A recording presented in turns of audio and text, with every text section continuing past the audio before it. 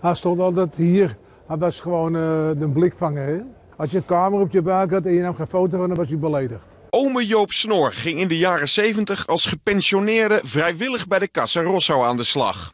Als portier op de vrijgezellenboot en als het regende als plaatstoewijzer. Dus zeiden we toch gewoon mee op gewoon naar binnen toe, want dan werd die snor nat. Dat was het probleem.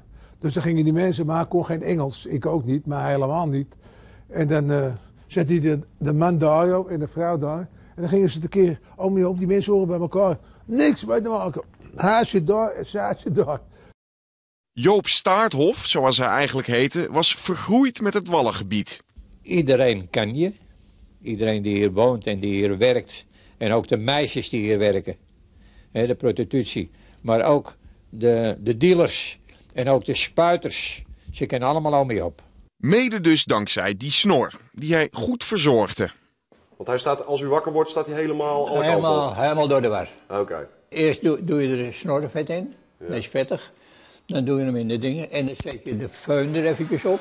Mensen proberen aan zijn snor te zitten. Zeggen ze, mag hem even voelen? En dan zeggen mag ik ook voelen? Weet je, vallen ze met de vrouw of zo. Want de vrouwtjes vond hij wel interessant hoor. Het was wel een liefhebber. Ja. Maar netjes dan. Een kleine tien jaar geleden, op zijn 88ste, stopte hij pas met zijn werkzaamheden bij de Casa Rosso. Drie dagen geleden overleed hij, 97 jaar oud. Ja, het is wel een leegte.